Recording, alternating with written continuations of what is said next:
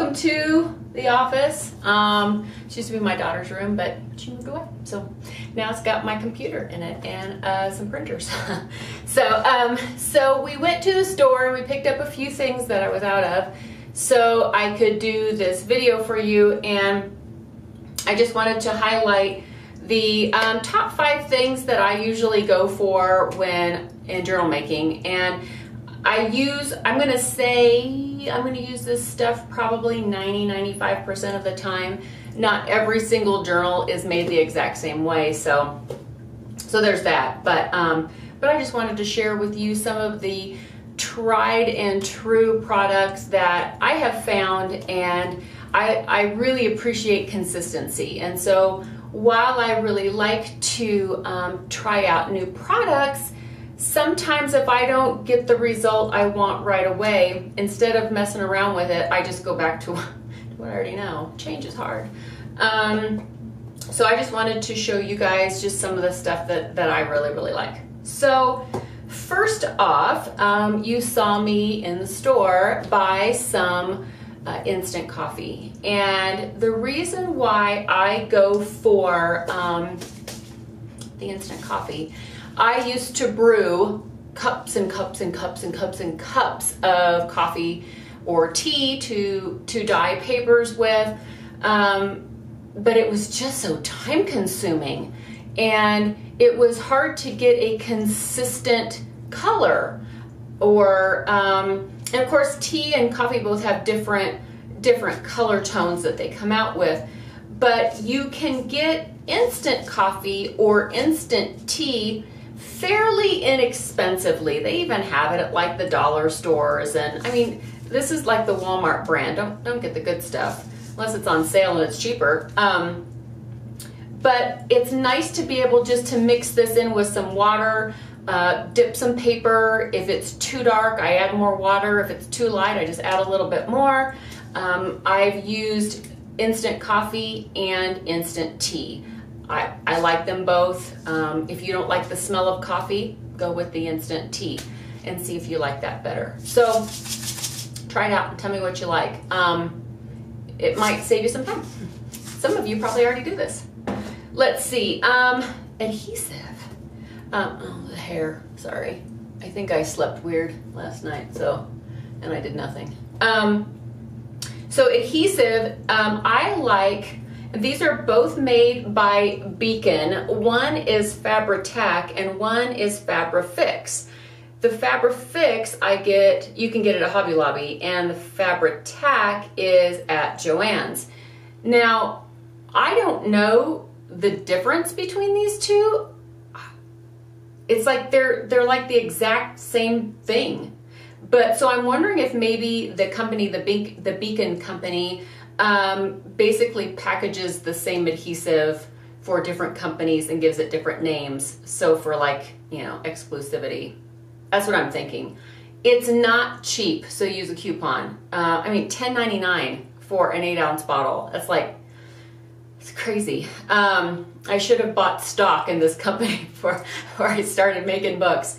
Um, yeah, so you use a coupon. What I like about these adhesives is that they are acetone based and not water based. So what that means for, for me is that when you use a water-based adhesive on paper, that water can expand the paper in that spot, which will make your little wrinkles and, and it makes it harder for the paper to lay down flat because that water expands those fibers in the paper and then you've got ripples and bubbles and stuff. And it doesn't always happen, but it can.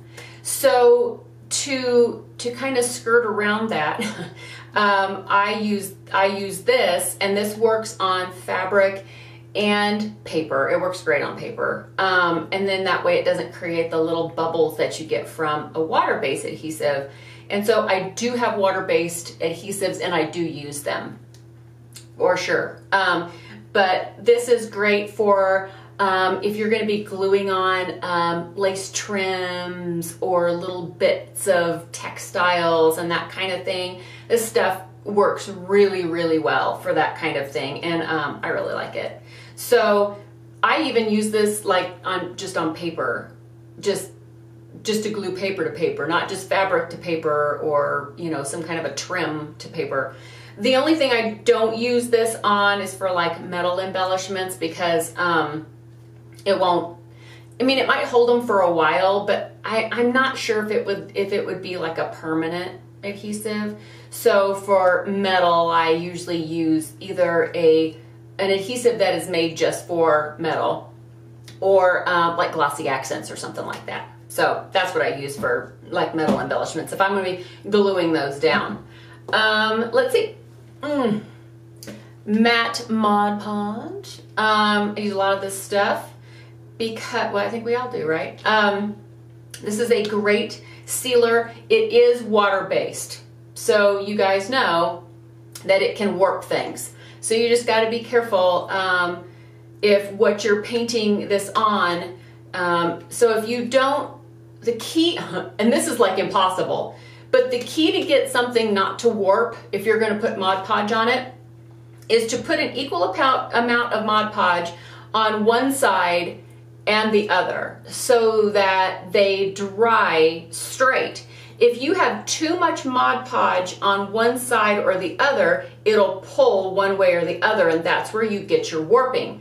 So, I mean, how can you ever get it even? Because one side of, if it's like chipboard or something, could be more porous than the other side. And so even though you're really careful to like measure out two tablespoons and brush on two tablespoons on each side, that's not going to um, guarantee that you're not going to have some warpage because because it will soak in differently on on either side. So so I don't use Mod Podge for everything. I mean, obviously, um, because of the warp the warp factor. Um, so you just have to be aware of that. But it's great stuff, and I I mean, as you can see, I buy it by the you know the huge container. So I, do use it. Um, let's see. Um, I love, love, love inks. So whether it is the Tim Holtz Distress ink, like in this little pad, um, I have these little um, daubers of distress inks and I don't think he sells them this way anymore. I don't think you can get them in the daubers. I think they're only like in um, spray bottles now. Uh, so I'm hoarding what I have of these because I really, I really, really, really like it because it's got the, um, it's got the little pad that it's, I don't know, it just makes it easy. I'm not sure why they discontinued it this way. Why, Tim? Why? Um, because it was great. But I'm sure if I was a handy enough person, I probably could refill it Move that. hopefully that'll do you see the little um, that little black lip I bet you could just carefully pry that off and re refill it just to use the dauber what do you think um, because you could get something like walnut ink like this one that I get at um, that I get at Joann's and this is in a spray ball too and I love this stuff it's it's inexpensive especially with a coupon um, I think it's like seven something without a coupon but if you get a 50% off coupon then it's it's it's decently, you know, affordable and it's nice and dark. It's archival, it's acid free, and um, it lasts a long time. You get a lot of use out of this. So um, I will let you know if we can refill these. If you guys have some, oh, if you guys have some of these laying around, um, don't throw them away. Maybe we can refill those with something else. Another thing I like is this. This is a matte clear sealer. This one happens to be Rust-Oleum, which is an enamel. And I know like Mod Podge makes a matte sealer. I think they might have gloss too. But they make a matte sealer that is acrylic. So these are great because um, if you have something that you don't want a big, thick, heavy coat of Mod Podge on, but you still want to be able to seal it and protect it somewhat, then this is your guy. Um, this is, it's not expensive.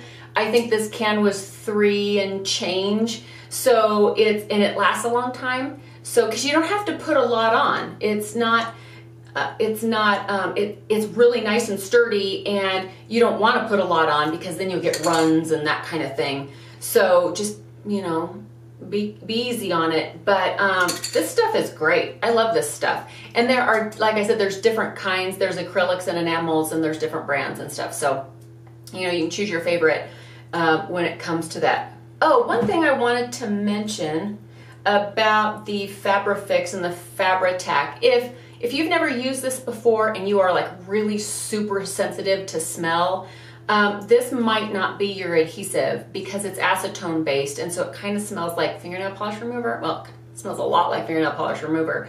So, um, so be wary. or if you just got your nails done, don't go using this. It'll, it'll just, it'll just take off all your fingernail polish. So, so be careful with that too. Um, because it's kind of stinky until it dries. Uh, I think that's it. I think that's it, guys. Thank you for going along with the journey today. This was just kind of five things just off the top of my head that I use, like I said, 95% of the time. I just go for these things because of the consistency and I just, um, I trust them to give me the results that I want. There's also gummy bears. Um, you know, they help. They help. The Haribo company has gotten me through some some really rough times and um, I want to thank Haribo and their bears for assisting me in my work. Um, that should be number one. okay, guys, I'm going to chew in your faces. Hope everybody is having a great day, and I will catch you guys in the next video. Bye!